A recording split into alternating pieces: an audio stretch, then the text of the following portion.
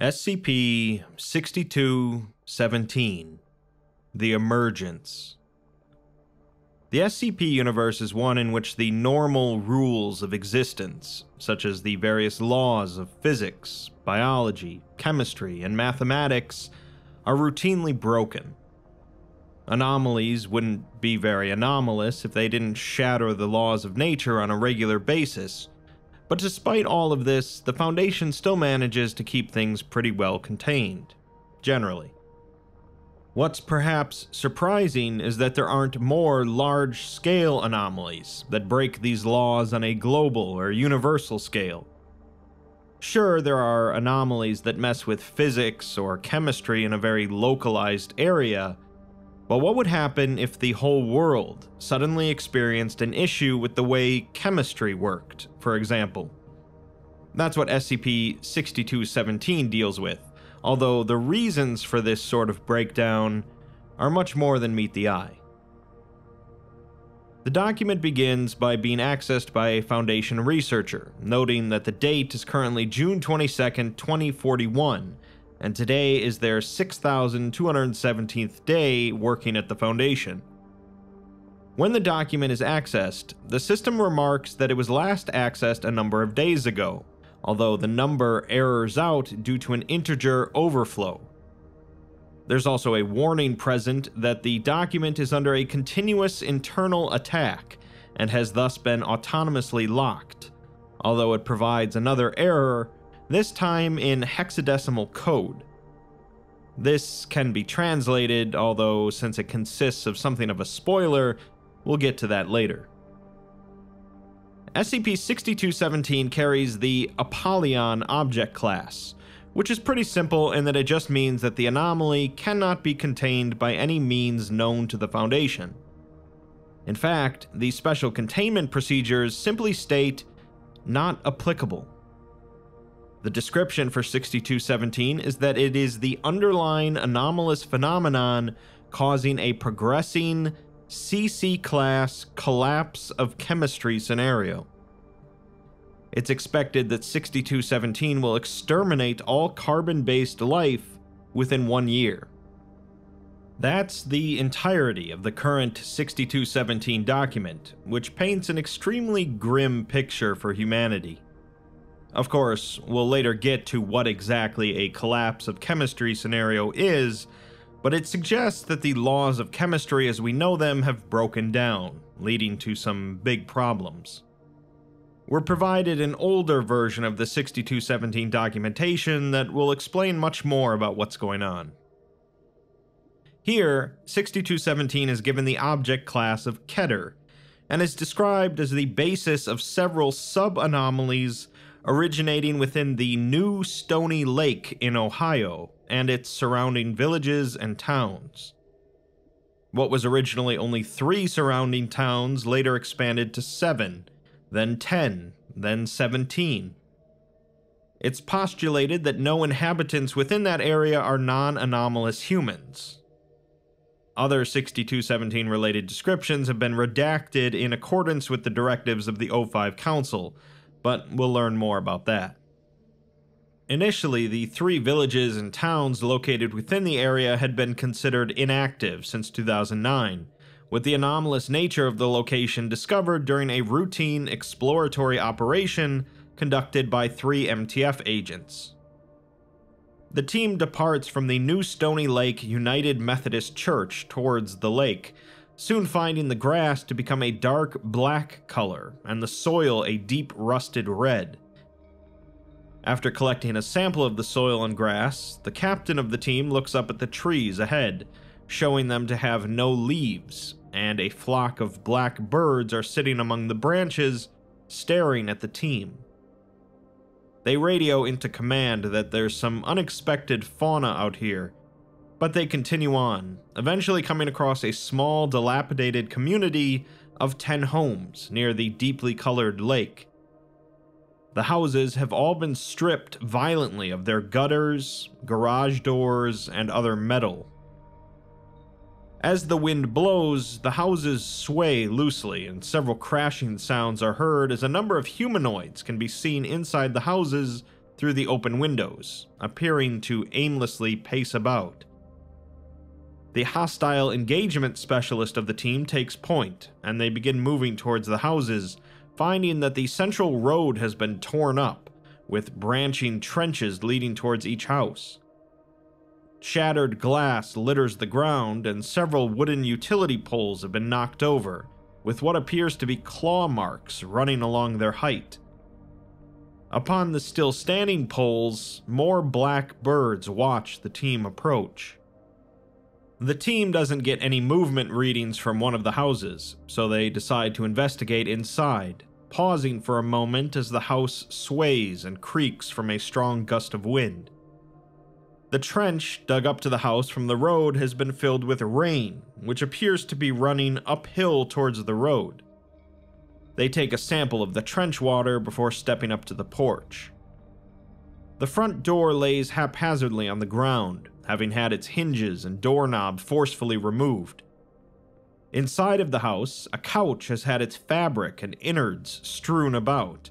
The majority of the ceiling has collapsed, and the floor has caved into the basement, leaving only the support beams and the attached floorboards intact. The team instead tries to go through the garage, finding shreds of rubber and leather strewn across the floor and piled by the walls. They go through the door here into the kitchen, where the appliances have all been ripped away from the walls, and moldering food covers the counters. They suddenly hear a noise, and a cabinet begins to rapidly shake. As the engagement specialist readies her rifle and opens the cabinet, a large black bird flies out and out the window, spraying a thick black substance over the room and the team with every wing flap. A pile of black sludge begins to inch its way out of the cabinet and towards the window before being captured and added to the other samples. As they leave the house towards the lake, one of the team questions that all of this violence would be from slugs and birds but the captain says that they've seen weirder. Once there was a doll that teleported back to where it was five seconds ago, and it got stuck on the conveyor belt at the incoming anomaly dock for four days. Apparently, it had somehow caused the deaths of a full apartment building. The other member of the team laughs and says that this isn't the weirdest they've seen by far, as one time there was something living in a toilet at an Applebee's. The engagement specialist tells them to quiet down, though, as there's something moving in the trees up ahead, and it's been watching them since they left the house. She decides to split off from the group to check it out while they continue towards the lake. At the lakeshore, the captain takes a sample of the lake water while discussing the engagement specialist and how she's usually pretty good at this kind of thing. Suddenly, a flare shoots out of the trees into the sky and explodes into blue smoke, signifying danger. The tactician tells the captain, the chemist of the team, to move silently back towards the house, and if anything seems wrong, to either hide in the grass or make a run for it. The tactician runs off towards the woods, while the captain starts quietly walking back towards the house. As the houses come back into view, the humanoid entities can no longer be seen, and the sounds of footsteps and branches snapping are heard emanating from the woods. The captain begins to jog towards the kitchen door, bursting into the kitchen and lifting the door back up against the frame to catch her breath. After a moment, the house begins to creak with footsteps upstairs, moving slowly towards the staircase. The captain raises her pistol and points it towards the kitchen entryway. And after a few moments of silence, something large crashes through the kitchen window, causing the captain to turn and fire. The shot connects, hitting the tactician in the arm, who just yells at her to keep moving. They move towards the garage, hearing a large, wet thump sound in the living room next to them, as the captain asks where the other team member is. The tactician tells her not to worry about it, because she got there in time to see her being dragged back towards the lake and being submerged by some humanoid covered in tendrils of that goo. If she's okay, then she'll figure it out, and if not, then it's not their worry right now. They reach the garage door opening, looking out towards the road where they see 15 elderly people wandering aimlessly and staring at the sky. The captain looks up to see what has drawn their attention, at which point the black birds in the trees nearby take flight, forming a massive swarm in the sky and blocking out the sunlight. As the birds fly erratically, the black sludge drips down onto the road and the humanoids, forming pools on the street that begin to grow in size by moving and combining with smaller puddles. As the droplets land upon the elderly people, they form long, thin tendrils stretching from their bodies like long fur. The birds then begin to swarm into a single ring in the sky, sending individual birds down to peck and claw at the two agents as they step out. The tactician tells the captain to sprint for the car and not wait for anything. As the captain sprints towards the tree line they first came from, the tactician sprints down the street, with the birds descending down like a coil towards her. Several birds take notice of the captain and descend upon her as well, pecking and scratching at her exposed skin. She turns to look towards the direction of the tactician, witnessing her being lifted into the air by the swarm and disappearing into the sky. The coil of birds then turn towards her and begin swooping in just as she reaches the trees. She pushes through the branches as she runs, shoving metallic twigs and birds to the ground along the way. As the swarm catches up to her, she removes her helmet, headset, and body armor, tossing them aside for greater mobility, retaining only her pistol, samples, and camera. She bursts forth from the tree line, landing near where she took her initial soil samples, covering her head with her arms as she curls into a ball.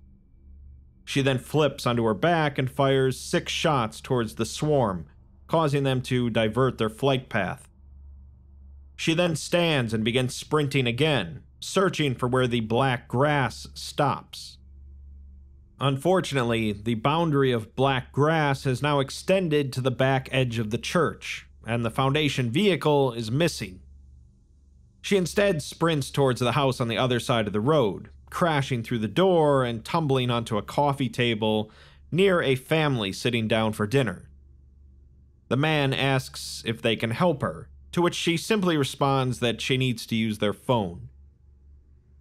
In the aftermath, the two other agents are both presumed to be lost, although no remains have been identified. So that all seemed pretty odd, with some mysterious black sludge, crazy birds, and metal stripped from every house in the area.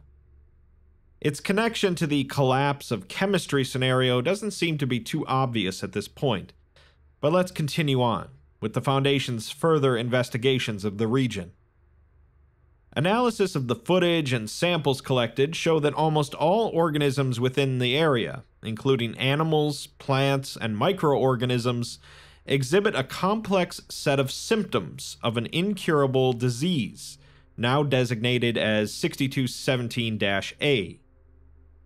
Tissue samples of organisms infected by this disease were found to have had their hydrocarbon composition replaced by a complex mixture of iron and sulfur.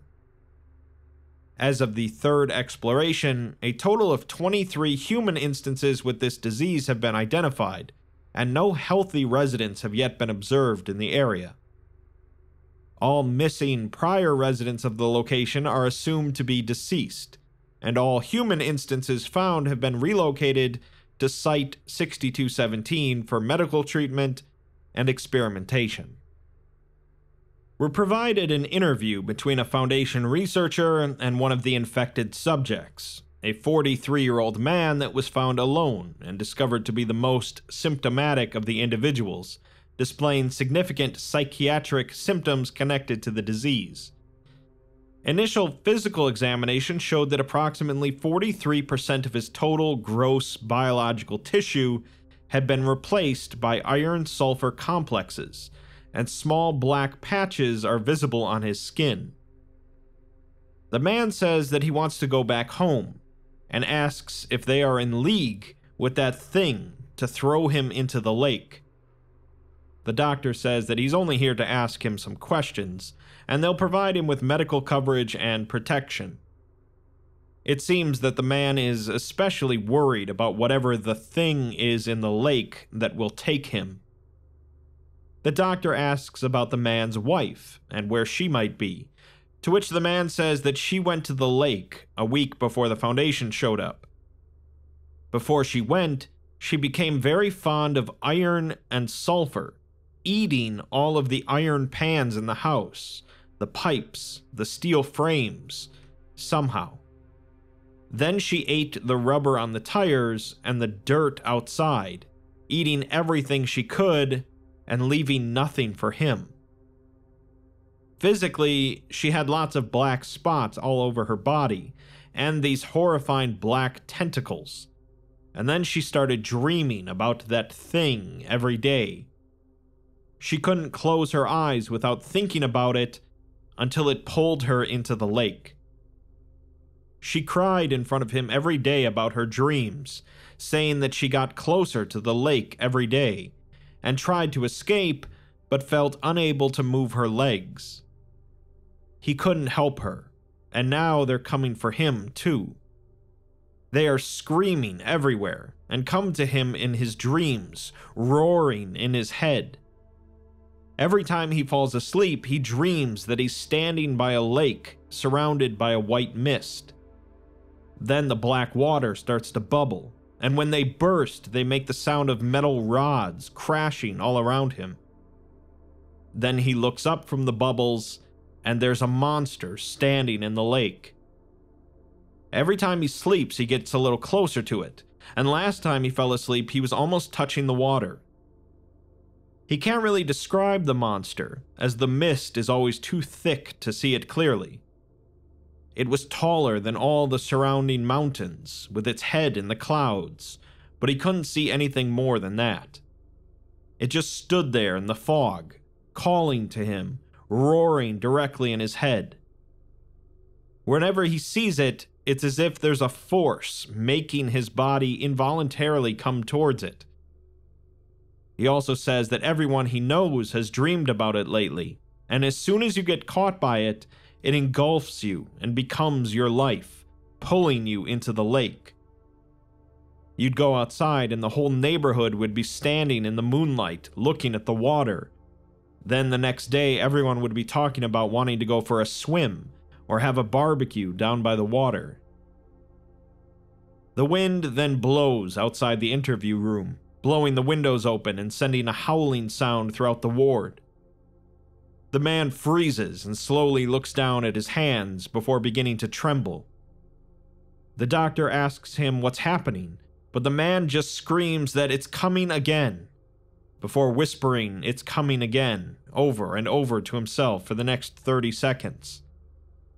He then cries out, telling the demon to get away from him, as he's an independent person and won't be consumed by it.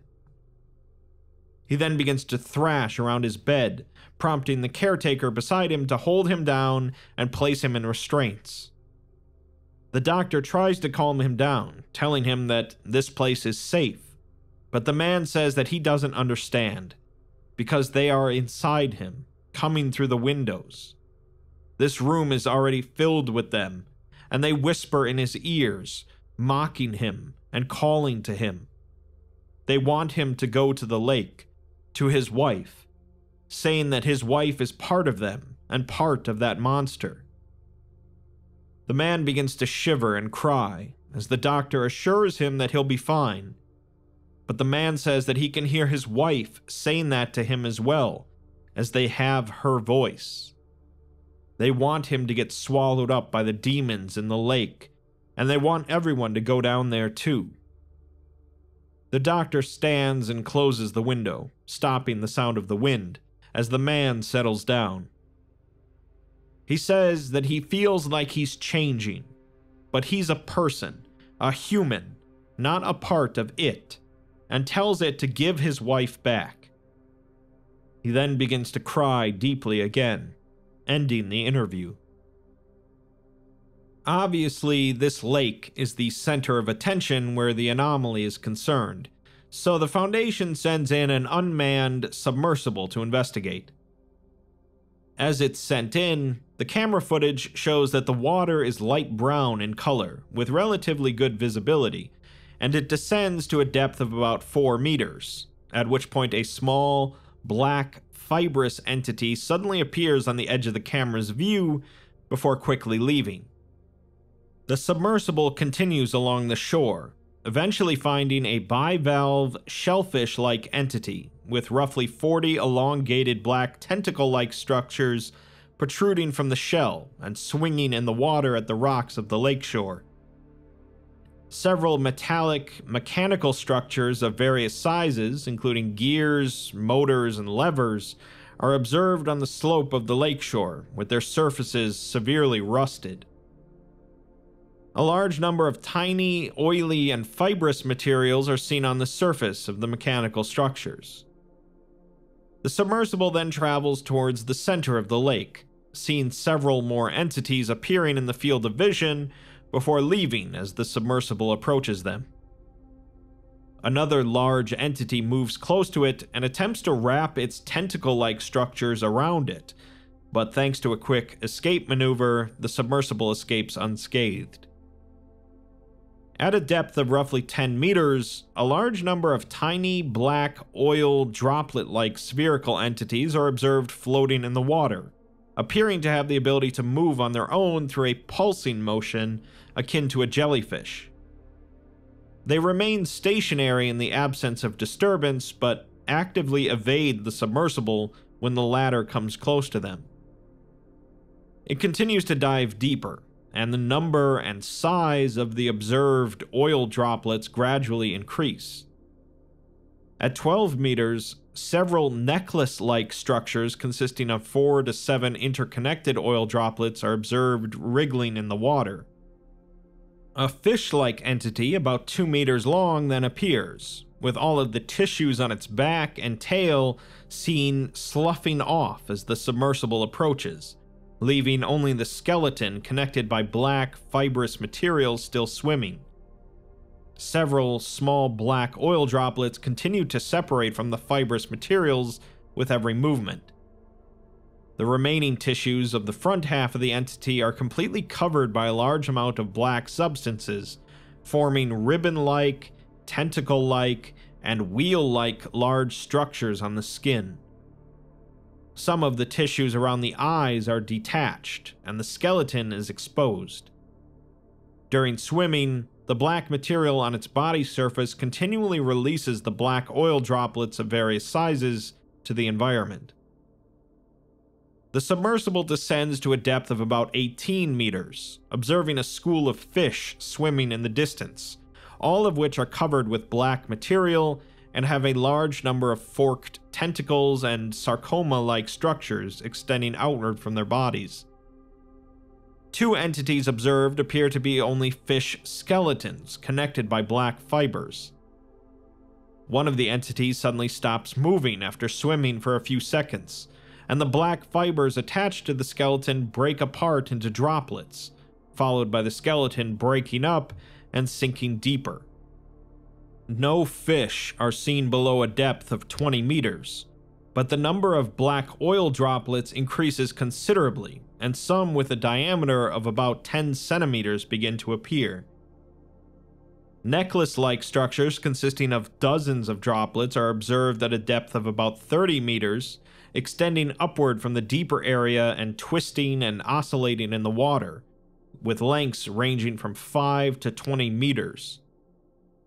At one point, the submersible accidentally makes contact with a chain like structure, which quickly wraps around it. Despite successfully escaping, the submersible's surfacing system is damaged irreparably, and it's deemed irrecoverable from this point on. It continues to sink to around 40 meters, and with the help of its illumination lamp, an unidentified giant entity with a roughly cylindrical shape is observed swimming below the submersible from the deeper area, with an estimated cross sectional diameter of about 5 meters and a length of about 20 meters.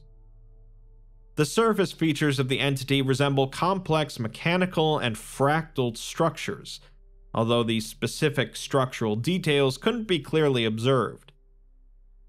At 50 meters, a large number of complex, net like structures are observed filling the area below this depth. Droplet entities of varying sizes are continuously dislodged from each net and swim into the holes of other nets, integrating themselves within the new structure after a short period of time. The camera captures a cumulative total of three similar giant cylindrical entities swimming far in the distance. The submersible sinks into one of these nets and is rapidly and completely enveloped. The camera frame changes to total blackness, and a few seconds later, it loses its signal. So, there's something at the bottom of the lake that's making loads of black goo that seems to take various structural shapes and also appears to be alive, in a sense, attacking anything foreign. Five days after his initial interview, medical staff conducted a thorough physical examination on that infected man, finding that the internal structure of his body had completely changed in composition. All of his original nerves, blood vessels, and other tissues had been replaced completely by different tissues formed out of the black substance, and his organs had transformed completely into structures never before seen. This would seem to also be what happened to all of the fish in the lake and everything else living in the area, in some sort of a gray goo scenario. Following his physical examination, he began entering frequent states of mania, stopped communicating with others, and attempted several times to escape. Staff began to keep records of all events involving him trying to harm guards, doctors, staff members, and researchers. Six days after the examination, an incident occurred that started with him in his room, staring at the camera, as a black, fibrous material extended out of him and began to cover his entire body. He continued to stand in place and stare at the camera as this occurred, before his body suddenly shattered and collapsed. The process produced a large number of black spherical droplets of varying size that fell to the ground and rolled outward with a relatively large aggregation of black droplets at his standing position. The nearby droplets then recoiled and slowly clustered toward the center, merging together. The black droplet aggregate then began to shake and deform, shifting its appearance between multiple forms rapidly, with several new, complicated structures seen forming on the surface. It then formed into a singular entity with a redacted appearance, and a large number of rotating, gear like structures could be seen on its surface, interconnected by encircling, fibrous structures. The black entity then suddenly broke through the door of the room at an accelerated speed before changing its appearance into another redacted form. The disc like structure on the entity's surface rotates at high speed, driving its thousands of tree like cable structures to move. It quickly entangles the two guards standing outside of the room and binds them inside its mass of curled tentacles.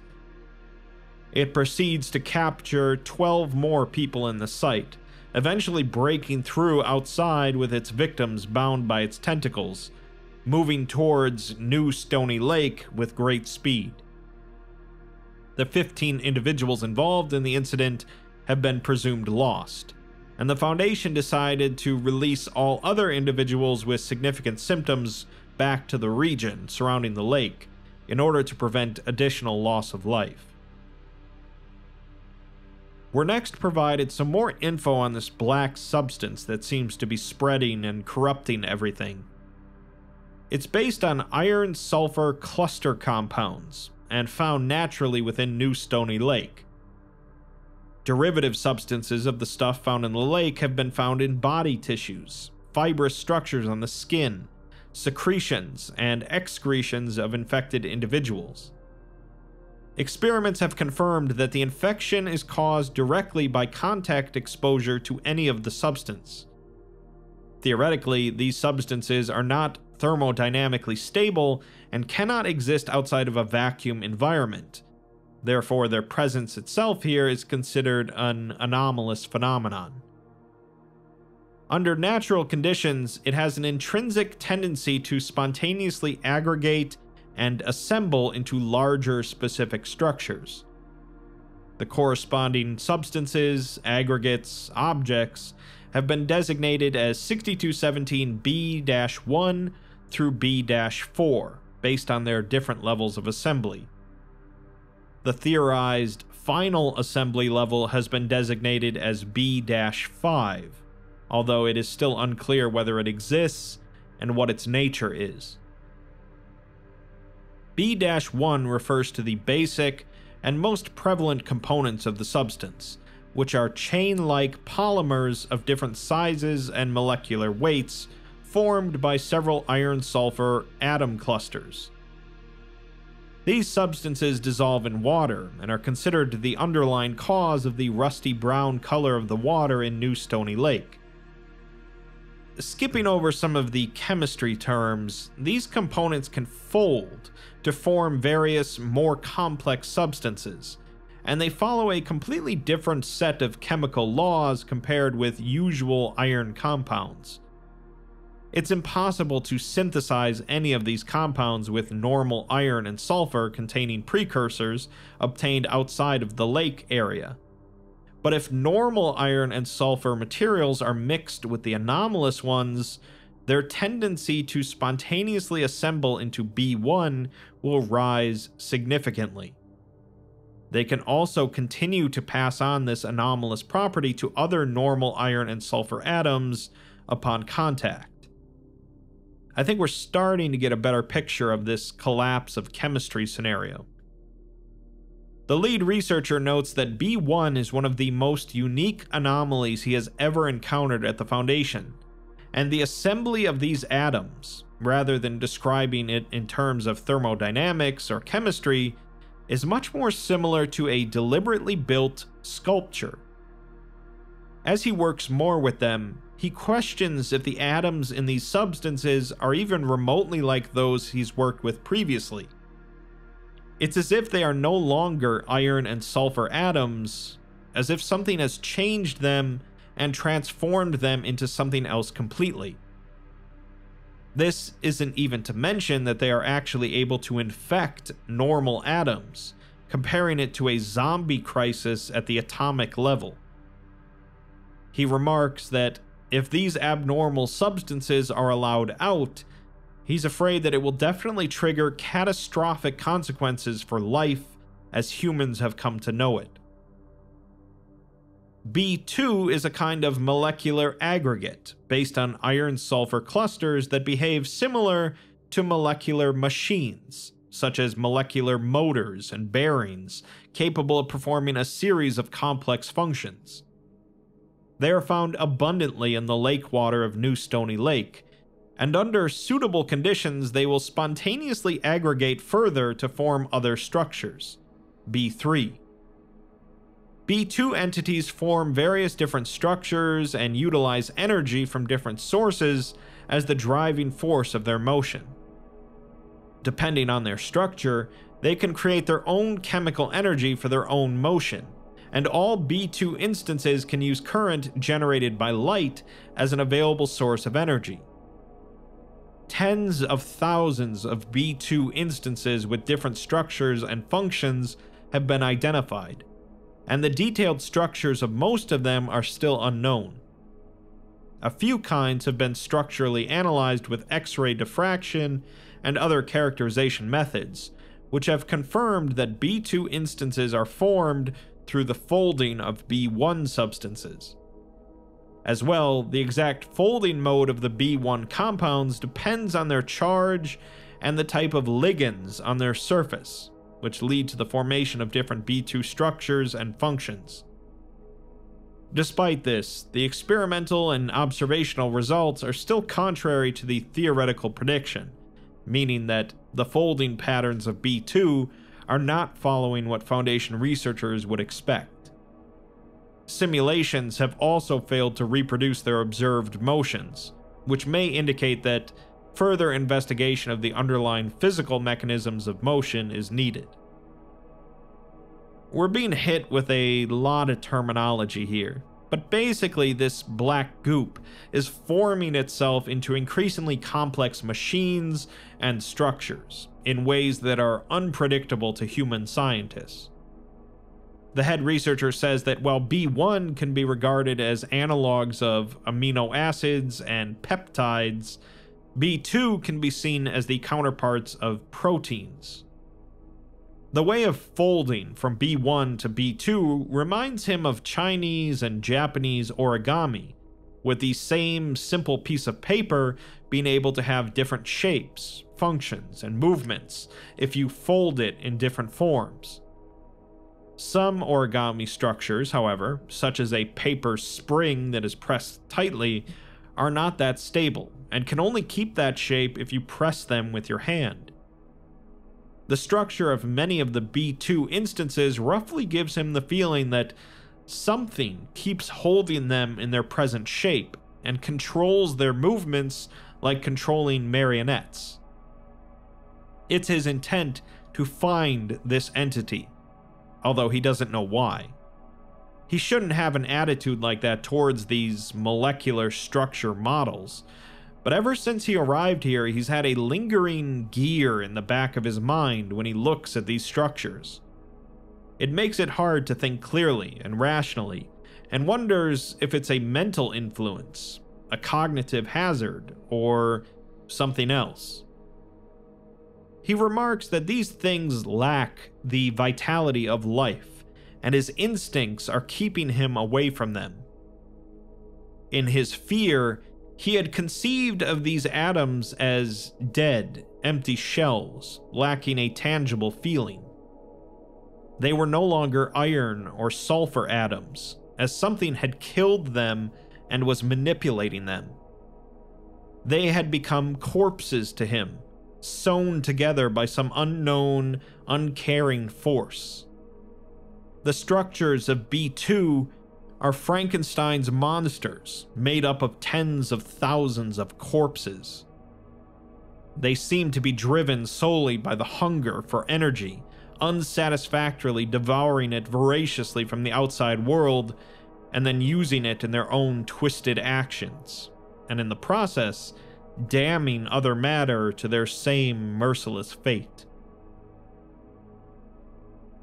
B3, the next step up, are a collection of vesicle like structures of varying sizes, generally appearing as black circular droplets ranging in size from 5 micrometers to 10 centimeters, containing a variety of B2 with different functions working together.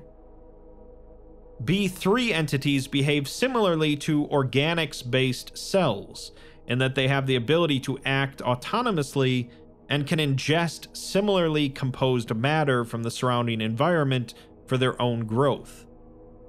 Each one often contains multiple energy harvesting B2 individuals within it, which makes them extremely efficient at utilizing energy from iron and sulfur sources as operational power. The researcher inputs a note here that they are feeding on themselves and the Earth, and their hunger may never end on this planet of silica. Under high concentrations, B3 tends to aggregate spontaneously to form necklace like B4 structures, as well as more complicated B4 aggregates. The researcher writes that he watches them flagellate in the petri dishes, feasting on each other and whatever iron and minerals they can reach. But they are not without intention. It's like nothing he's ever seen, as they seem to be thinking together and speaking. As he looks down through his microscope, he can feel them looking back up at him, urging him to feed them. He deposited a handful of soil and a nail into their beaker today, and for a moment, it stopped. They tore through both like a swarm of rabid piranha and left him with silence for the following hour. He wonders if maybe some new containment measures are required. B4 refers to structures formed from B3, which are extremely complex and diverse in shape. The most common structures are tree and necklace shaped entities, which are considered as their primary form. The vast majority with complicated shapes have partially mechanical like characteristics, with their structures often containing parts that are similar in shape and structure to mechanical designs, such as gears, hydraulic pistons, axles, and electrical circuits. B4 entities can be classified into different types based on their internal structure, similar to multicellular organisms. They are typically able to deform and move autonomously, and they are aggressive towards entities and objects containing iron and sulfur based materials, as well as regular creatures, resulting in them becoming infected with the disease. The researcher notes that B4 entities appear to be attracted to human blood and will enter a frenzy when blood is entered into their immediate environment. It is presumed that this is because of the iron in our hemoglobin, but this is yet to be tested thoroughly. Under certain conditions, different B4 instances will further merge and assemble into more complex B4 entities, with the largest known one being a massive, reticulated structure found at the bottom of New Stony Lake. It's assumed that infecting organisms is an important way for B4 to reproduce, and they can also obtain the energy necessary for their growth and activity by oxidizing organic components of the organic tissues of the host. When a sample of B4 comes into contact with an organism, it will release some of its B2 instances into the body, rapidly infecting it and turning it into an instance of 6217 A 1. When infected by these B2 instances, the organism will seek and ingest large amounts of iron and sulfur to synthesize more B2, which then combines to form B3 instances, followed by B4, replacing the host's original body tissues. The newly generated B4, capable of replacing the original body organs of the host, often have different structures and operating mechanisms from the original organs, mimicking various mechanical devices instead of organ systems. In one occurrence, a human heart was replaced by a mechanical membrane pump. Nerve tissues were replaced by a wire like system, and a brain was replaced by a modular structure similar in principle to an electronic computer motherboard assembled with various accessories. When the infected individual enters their final stage of infection, they will become compelled to enter into New Stony Lake. Once they reach the water, the B substances will be released into the lake, completing the reproduction process of B4. This pathway is currently speculated to be one of the main sources of the B substances within New Stony Lake.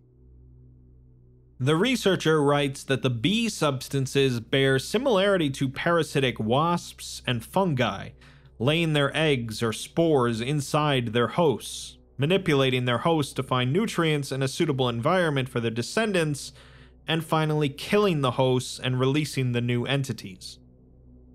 Once infected, the hosts are not of their own free will and are obedient entirely to the infection. Yet the one man they interviewed resisted, which makes no sense. Unlike the other B entities, he's left with nothing but emptiness looking at the samples of B4. No matter how much he feeds them, no matter what he feeds them, they behave as soulless machines working to consume and infect, and nothing more. It's as if everything they do follows a command written long ago, telling them to do this, telling them to reproduce, to attack, to go back to the lake, to bond with others of their kind. The creatures manipulated by them see the lake as their home and fall into the water, one after another. Something in the lake is calling them, and he's afraid that it's not some monster, but rather instructions buried deep in the tiniest mechanical structures of these entities. Their own mechanical structures command them to return to the lake, as it's part of them. They cannot resist. They will not resist. And once you become them, it's part of you too. He just questions why. Finally, B5 is the theorized final form produced by the self assembly process of the B substances. B5 is suspected to be related to the giant black entity at the bottom of the lake, described by several infected humans as appearing in their dreams. The existence of B5 is not yet confirmed. The researcher leaves only a short note here, asking, Could it be? Alright, so, altogether, we have a collection of mysterious substances that seem to be alive in a sense, consuming everything made out of metal in order to continue growing, and also infecting other organisms in order to aid them in seeking out more sources of metal, all so they can continue to contribute more and more to a large entity at the bottom of the lake all of these substances are increasingly mechanical in design, up to and including gears, pistons, and electrical circuits. So it's presumed that whatever is at the bottom of the lake is an even more complex machine of some sort. They're slowly building this entity using everything nearby that's made of or includes metal, including people, and all of the substances seem to be following a command instructing them to do this. They also, during the infection process, turn humans into mechanical creatures, replacing hearts, brains, and other organs with mechanical alternatives. If you've been following the SCP universe in some fashion for a while, you likely have a good idea what this is all pointing to and so does the Foundation. They bring in another infected individual to be interviewed, named Michael Christensen. At the time of his discovery, he had only a minor infection and was in the early stages, but he was interviewed due to a background investigation revealing that he was a former member of the Broken Church, the largest sect of the Church of the Broken God. He was asked about SCP 6217 due to the similarity between it and other anomalies associated with the Church. The lead researcher, Dr. Chugayev, mentions that they brought him in due to the similarities and the fact that they found him lurking around the lake. Michael, however, says that the lake does have some relevance to the Church of the Broken God, but not the Broken Church. He left the broken church years ago, but still retains his faith in the broken God. After witnessing how their attempts to resurrect God have failed, referencing the SCP-001 proposal in which they bring back the broken god using a faulty heart made by the factory, his faith in the old church had begun to waver. He couldn't understand why this was happening until his mentors came along and helped to clarify the path. About a year ago, his mentors appeared out of nowhere in this town and established a sect by the lake, noting that they made their base in some old, rundown chemical plants near the lake. They approached him and a few other members of the Church of the Broken God who lived nearby, asking for assistance. They have developed a new belief about the god of brokenness that is very inspiring to him. He's been thinking about the problem that they've always understood the broken god as a combination of mechanics, but nothing that has been attempted has been successful.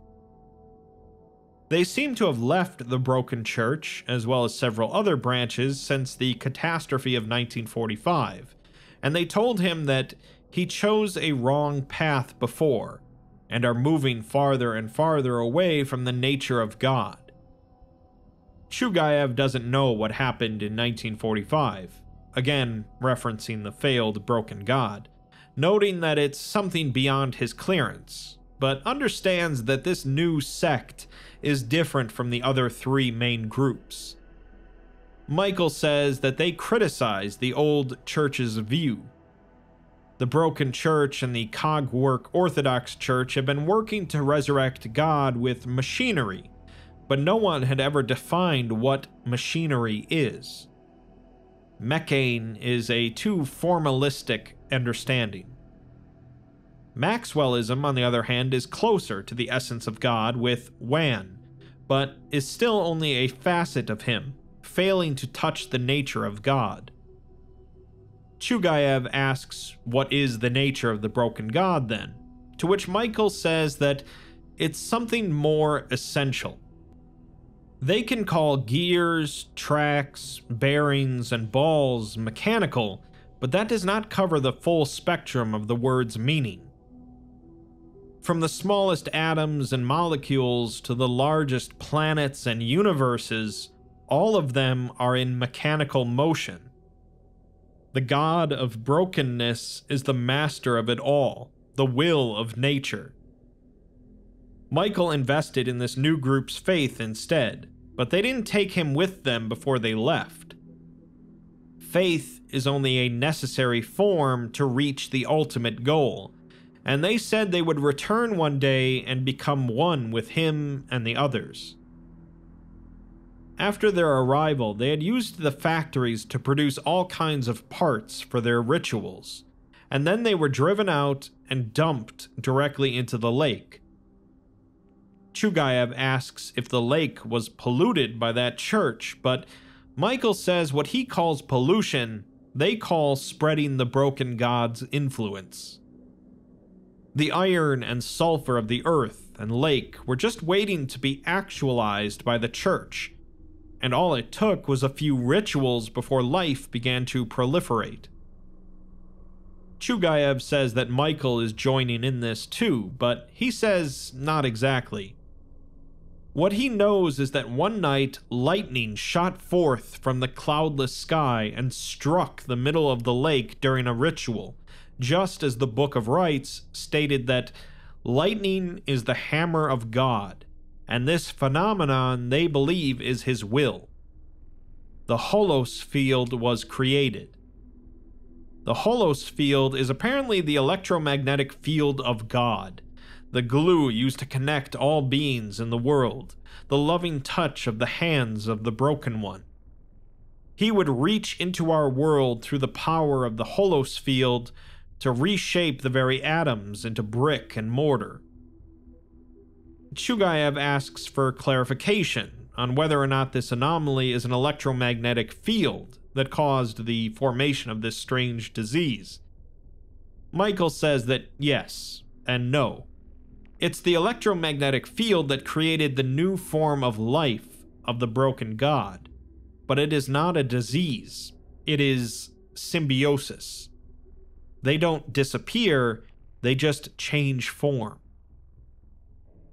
Chugayev asks what exactly they're changing form into, as people are collapsing into black droplets, and he doesn't think there's any doubt that this is death in the physiological sense. Michael responds that the world does not care what he believes and what he doubts. They have received true revelation from the words of the broken God, and there is only one way to truly restore him, and that's to integrate all of ourselves into him. We are the parts, and when all physical bodies of life are put together into a new body and all the souls become one, the divinity of the broken God will be revealed. Each of us will share in his divinity and become a part of him. Chugayev says that what's happening here is that they're trying to build what they call a broken god by killing everyone and turning them into slimy black liquid robots. Michaels, however, says that it's not them doing this, but rather the will of God himself. He is constructing his own incarnation and bringing them to the ultimate state of union. The fragments are assembling spontaneously, and the lake is to become the primordial soup of the broken god's light. Chugayev asks how they are so sure that it's the broken god and not something else, mentioning how the Cogwork Orthodox Church also encountered a monster they thought was the broken god, referencing SCP 3179. Maybe there is no such thing as a broken god. Michael responds that although he has not yet been born in this world, he has appeared in their dreams, extending an invitation. He stands in the middle of the foggy lake, and anyone who knows anything about the broken god will not doubt after seeing him. He is the real god of brokenness. Each of them are sharing in the love and gifts of him. He is guiding them on the path to becoming God. He is returning to the world, and this time each of them will be his parts. Chugayev, having extensively studied the black substances, says that those things don't have any feelings, and they are like puppets on strings manipulated by something, just carrying out some fixed instructions. He asks Michael if he would rather become like this and follow the God he speaks of, as this is not in line with the teachings of any of his old churches. This is imprisoning their souls. Michael responds that creatures are never free, and each of us fights for instincts. What he thinks is free will is nothing more than an instinct engraved in his selfish genes.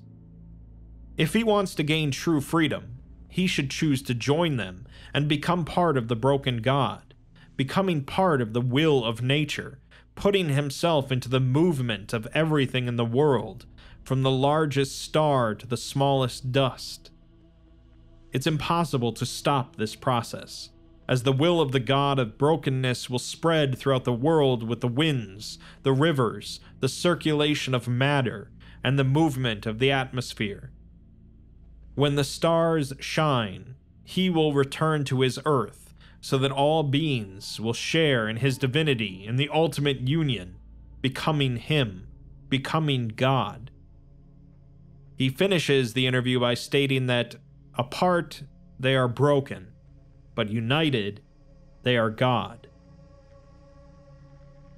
So, yeah, if Michael is to be believed, and the Foundation has no reason not to, they've got a big problem at the bottom of that lake even if it's not the broken god in actuality, it sure seems to be a sentient mechanical creation that's spreading across the globe, absorbing more and more of everything into itself, infecting people to further the spread. The remainder of the document is locked behind level 5 clearance, so things are about to get pretty serious.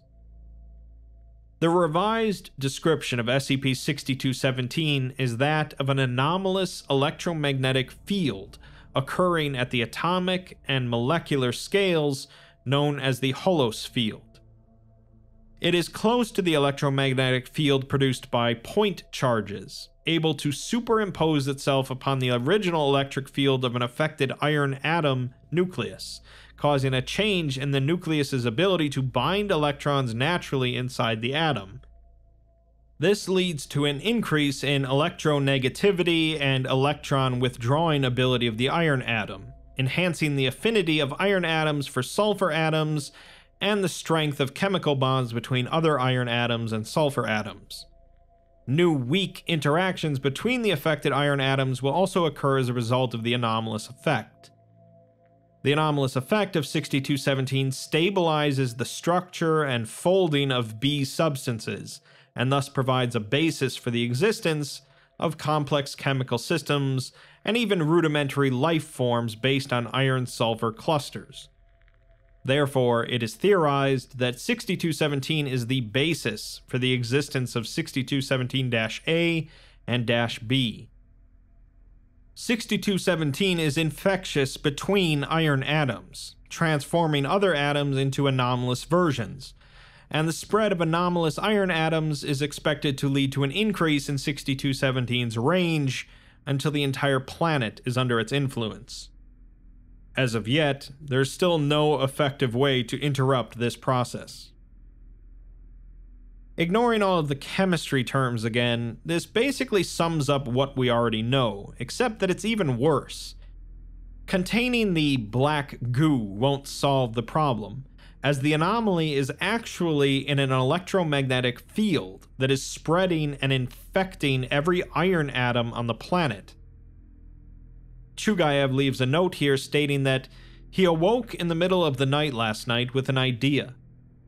If they add a positive electric field to the atomic structure of iron that emanates outward from the nucleus, or in other words, slightly increase the electronegativity of iron, they could stop 6217 in its tracks.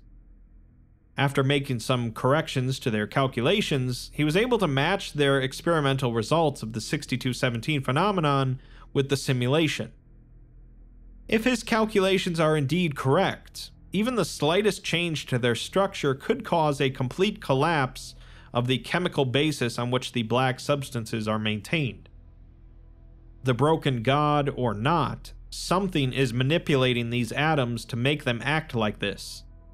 It's making machinery out of the very earth and writing its designs into the universe through this almost mechanical structure.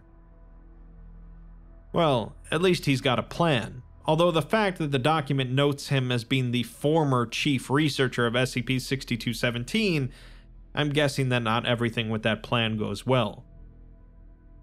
We're next given a series of excerpts from his personal journal, starting with him noting that if you regard the SCP 6217 entities as creatures, they would be the closest to the Darwinian demons for survival. A Darwinian demon is a hypothetical organism that would occur if there were no constraints on evolution, maximizing all aspects of fitness and survival simultaneously. Such organisms would reproduce immediately and rapidly and live indefinitely. Chugayev says that they are utilizing all energy sources and can turn a whole piece of pork into just carbon dioxide, water, and nitrogen within hours. When it comes to being used against humans, this will really be a problem. This is horrific to him, although he knows he should not have felt this. He wonders if these things are mind affecting or are just trying to keep their physics a secret. Later, the Foundation updates the containment procedures for 6217 to note that the four closest towns to location 6217 are considered seriously affected and are now part of the quarantine zone. Chugayev expresses his disapproval that they can only just watch it develop and do nothing about it. He later writes that the simulated models are looking promising, and every collected value is well within the bounds of expectations. He has some neuroscientists from Site 120 joining him soon as the final entry into Site 6217 to deal with the possible cognitohazardous effects of the anomalous substances. This will be the last time, as the situation won't allow them to stay here for longer than a year. He hopes he can leave this area alive. The next month, he unfortunately writes that there's no way to stop the strange electric field but he doesn't want to give it up here. Included is a few experiment records, just three out of hundreds they performed. They tried counteracting the effects using a positive electric field, but the electric field generated is far from sufficient to counteract the effects of 6217, while affecting the stability of the normal compound.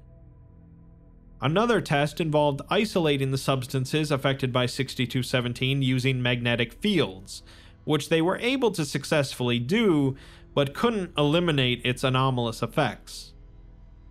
Another test had them obstructing its propagation using reality stabilizers, but no slowdown was observed.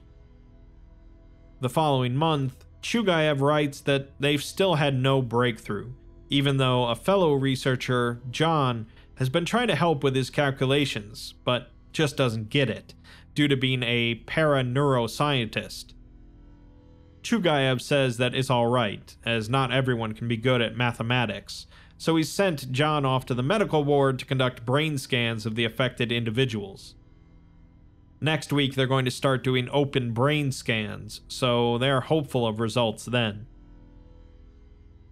A couple of months go by before the next entry, in which Chugayev writes that a staff member of Site 6217 was infected, despite never coming into contact with any 6217 related materials. This is really strange, and what he's afraid of is if these ashes and dust containing anomalous iron atoms can still spread 6217. He hopes that this is just an isolated case, but he can't stop worrying. Another couple months go by, and Chugayev includes two updates to the containment procedures. Three more towns are now included in the quarantine zone, and a research article published on Journal of the American Chemistry Society reported the unusual chemical behaviors of iron ore samples collected in Ohio. The article has been retracted under the cover story of data misuse, and one of the authors has been diagnosed with the disease. Further investigation about the mineral samples and their place of discovery is to be conducted soon. Chugayev says that a lot of staff members are telling him that they are dreaming of a strange black monster with enormous gears surrounding it. Luckily, there's no evidence of them being infected, but he just wants a little bit more time, just a few more weeks. The following month, however, he says that they are running out of time, including an update that a strange disease has broken out in France with 6217 symptoms reported by a French media outlet. Related information has been removed, and amnestics procedures have been conducted to eliminate the possible information leak. Several proposals have been put forth to deal with the 6217 outbreak, including destroying the area with nukes, constructing an internal circulating system to prevent anomalous matter being spread out, and isolating the location physically with isolation facilities. All three are rejected by the O5 Council. The nukes would most likely just spread anomalous iron atoms worldwide. The cost of an internal circulating system is too great, and there's no realistic method to completely isolate all of the substance within the area. The next month, Chugayev writes that after years of recording them, he finally saw the black figure with his own eyes. He feels like it is a giant black hole, absorbing the souls and wills of all life without satisfaction. He can see that behind it is the one controlling all the aimless mechanical black marionettes.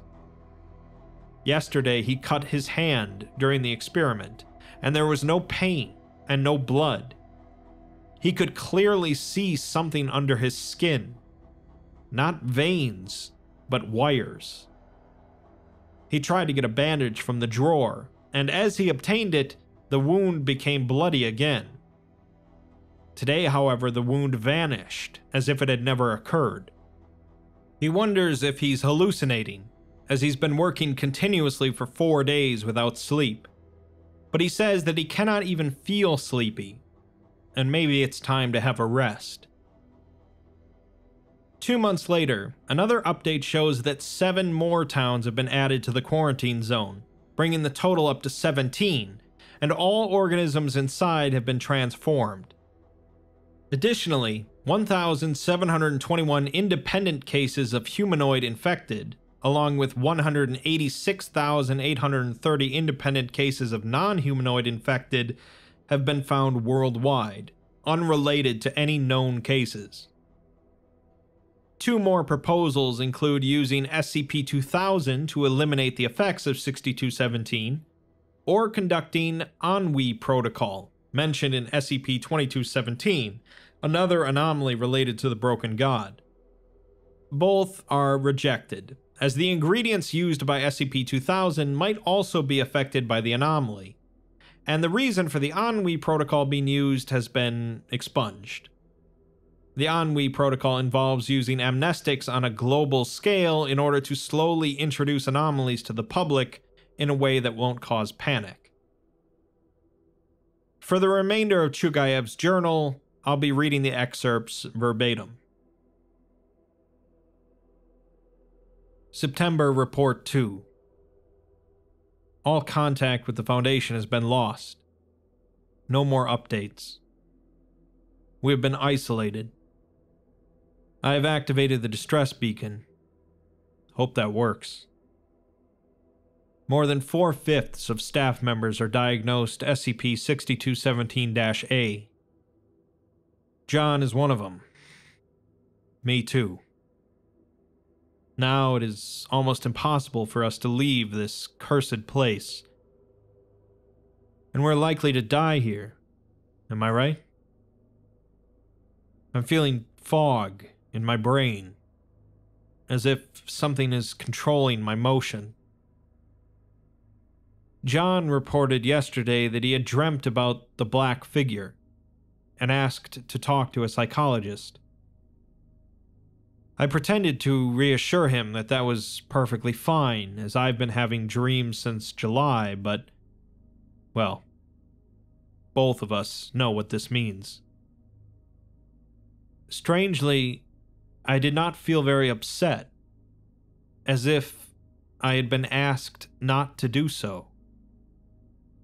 Well, now that I have no choice, I'll be here, working on it. December Report 1 The final living staff died of starvation this week. Frankly, I hadn't even noticed that we had run out of food at all. In fact, I haven't left my office in months. I must have been eating something. I don't know what. But almost all steel things in my living room have gone. I have no idea what I have done during the previous days. As if I was acting autonomously, without any memories and emotions. Am I becoming a robot? Like what is hidden under my skin? John also has been lost to the infection completely. In his last days, he was just repeatedly saying nonsense like a broken record. His voice cracked and gargled with each dry breath he took. I asked him about his family, he did not give me any answers that make sense. I guess this is also what I will be. I really don't want to. Undated report. What is the date today? I feel like I've been sitting here for like more than one month without any memory. I stared at the photo on my desk for like an hour, trying to recall who they are. Damn it, they're my family. Why am I forgetting about this? What have I done during the past days? Who am I? Am I a robot? Am I a human? No, I am still a human. See, I'm still thinking, remembering. I'm still feeling the emotions. I'm Alexander Chugayev, head of research at Site 120. I am Alexander Chugayev. I've been dreaming the black figure for months. I feel like he is saying something to me but I cannot hear it clearly. I must escape. I want to escape, but I simply can't. I can feel that every time I step forward, I'm losing my free will. Maybe being a robot won't make much difference. No. This is impossible. I am still a human. I have the right to change my life. I'm not just gears and wheels controlled by someone else. Right? I am Alexander Chugayev. The things I did were my choice. I am not a machine. I am alive. I am not a machine. The calculations finally make sense. He explained them to me. It is not the calculations or atoms that are wrong. It is the rest of the world. Nature rips at the universal code and pieces it together without intent. The calculations do not make sense because I do not make sense. Did. Do not make sense. I am a human because I have, don't have, have the free will. It was all my decision. And I now understand. The black figure is calling me. He is asking me to go to the lakeshore factories. It is the goddamn factories. I must go there. I need to ask them why, what, and when. I must show him that I am still a human. I will never be a robot. In addition to this journal, an audio file was recovered from a portable recording device left in Chugayev's office, which I will also include here. Who are you? Who summoned the broken god? You belong to the Fourth Church of the Broken God. Correct. We are the sanctuary of the holistic. Why are you doing this? Why are you killing people with the black mud? Why are you summoning your so called broken god? None of this seems right. We left the old churches dozens of years ago. They are seeking to restore God, but they are stuck with God Himself in various forms. If they go one step further, they will discover His nature, union, orderliness, emergence. So, why is this related to the figure on the lake? What is in the lake? The incarnation of God like Mekhane or Wan, they are indeed the broken god, but not the only side of him. But he will need this body to come back into the world. Everything that happens in the lake is just a replay of the evolution of life, the self-assembly of the broken god, helping all life to arrive at the pole of evolution the ultimate connection he represents. Now it is not yet developed.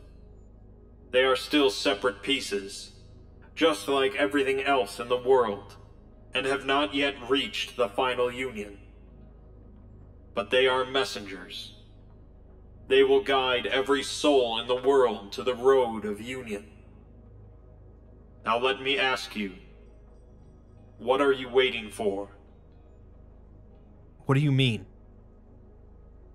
Why are you still hesitant to join the great work? Because I'm a human. I'm not a robot.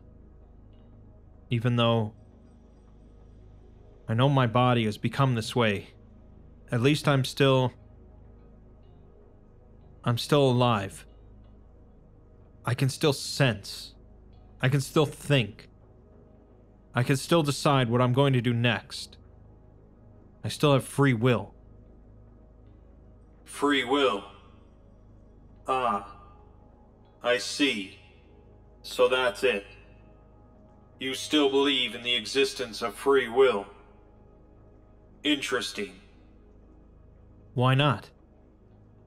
It's the only thing left to define me as a human. My physical body is gradually becoming mechanical.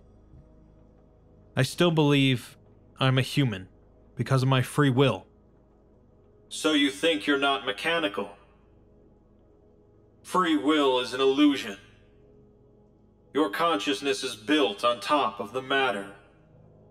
Consciousness is the electrical and chemical signals in your neurons, the sodium and potassium ion channels, the synaptic receptors, the neurotransmitters, all of which are just delicate molecular machines. Emotions can be constructed by logical circuits and electrical signals, and memories can be implanted.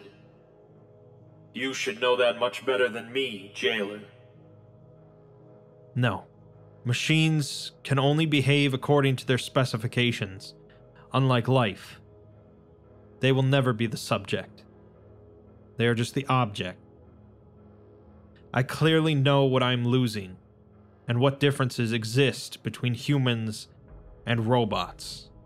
I don't need you or any others to tell me about that. I'll try my best to protect my humanity. My soul is still holding me up. Life? Organisms are also combinations of molecular mechanical parts. It is the broken god who guided the formation and evolution of life. And you can see his figure behind every step of the evolution. Machinery and mechanical laws have dominated all organisms since the moment of their origin. You want to talk to me about mechanical determinism? I'm sorry. I cannot agree with this ridiculous theory. Quantum mechanics has long proven the existence of randomness. Or, at least, I don't think everything we have is something that was shaped like machinery at the beginning of everything. So, are you agreeing that everything about you is controlled by randomness? The collapse of the wave function. That's all your humanity. In the end, aren't you still governed by the so-called randomness? Is this free? What? No, I'm deciding it myself, not. Don't forget that random events follow the laws of statistics, and the result of these statistics is the macroscopic world we are living in. This world is still governed by the mechanical law of cause and effect. Even the very fact that you are now thinking about free will is a result of the mechanical law of cause and effect. All things, your birth, your thinking about free will now, are all determined at the moment the universe was born. This. This could not be true. There will definitely be something that can break. You are just still trying to escape from the truth. You know that it is true. You know it very well. Every evolution of life, from the primordial soup in the ocean to today, has been like this. Self-replication. ATP synthase, flagella, motor proteins. The mechanical movement of molecules creates mechanical structures, and mechanical structures create life. Each complexity of the system relies on the sophisticated cooperation of a large number of machines from which new properties emerge. Well, in that case, life itself is mechanical? Everything is mechanical. The universe itself is a precisely functioning mechanical assembly. This is the truth of the broken God. It is the will of the organization of nature. He is the architect of all life. He allows life to develop in the way he envisions and life runs according to the predetermined program he sets. The process of evolution is the process of emergence. The process of emergence is the process of mechanical assembly, which is the process of mechanization, which is the process of. That is the process of the broken god reconstructing himself. You will figure it out by yourself. The last thing left behind by Chugayev was some writing on his blackboard, along with a series of indecipherable equations. It reads We are the missing pieces, as we shall return to repair him. His whereabouts are currently unknown, and he's believed to be deceased.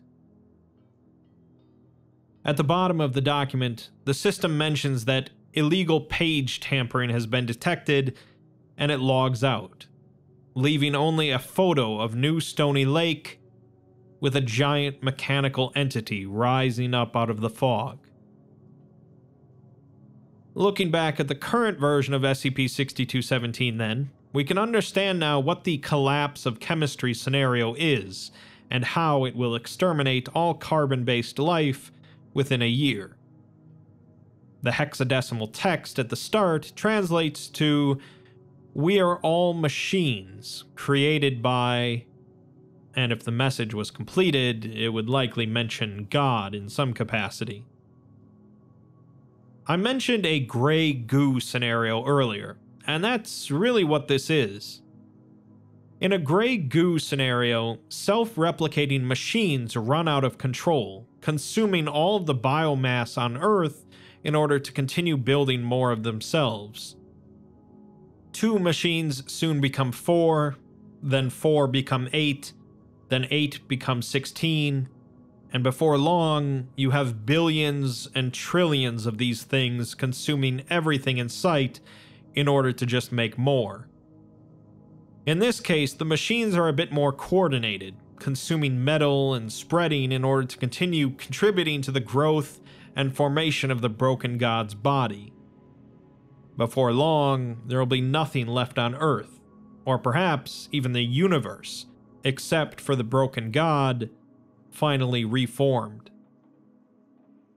While generally nowadays the Church of the Broken God are seen as either neutral forces in the world of the anomalous, or sometimes even as unlikely allies when the Sarkites are concerned, they were not always seen as so. They were originally presented as a very mysterious and strange group of religious fanatics devoted to machinery and their god, fully willing to sacrifice human life to further their goals. The truth is, of course, likely a mix of all these things, with different groups that follow the broken god believing in different things. Whether the broken god is actually responsible for the development of the entire universe and all life within it, or if this is just part of this group's dogma, is impossible to say. What we can say, though, is that this small group of broken god faithful did something that is not commonly done and that's reforming their god. Or, at least, something they believe to be their god.